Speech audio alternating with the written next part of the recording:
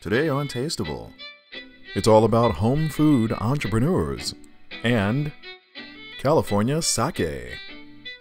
Sit back and enjoy. Today on Tasteable.